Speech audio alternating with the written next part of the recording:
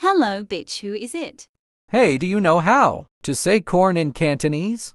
Suck mei. Suck my nuts, purra.